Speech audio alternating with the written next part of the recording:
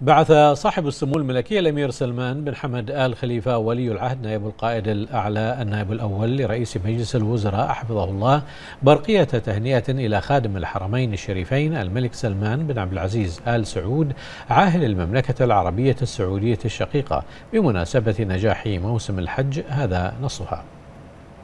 حضرة خادم الحرمين الشريفين الملك سلمان بن عبد العزيز آل سعود حفظه الله ورعاه عاهل المملكة العربية السعودية الشقيقة. السلام عليكم ورحمة الله وبركاته وبعد.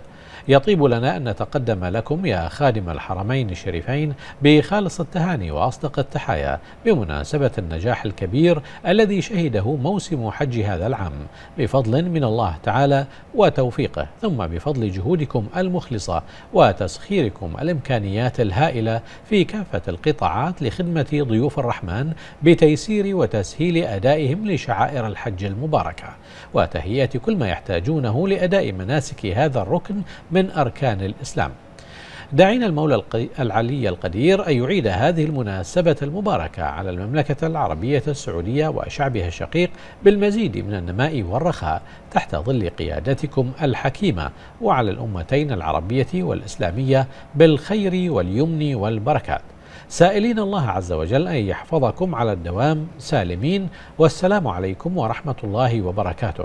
ابنكم سلمان بن حمد آل خليفة ولي العهد نائب القائد الأعلى النائب الأول لرئيس مجلس الوزراء.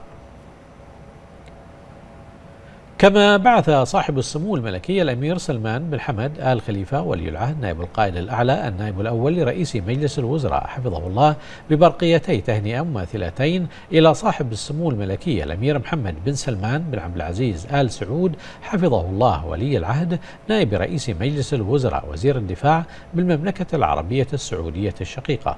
وإلى صاحب السمو الملكي الأمير خالد الفيصل بن عبد العزيز آل سعود حفظه الله مستشار خادم الحرمين الشريفين أمير منطقة مكة المكرمة رئيس لجنة الحج المركزية بالمملكة العربية السعودية الشقيقة.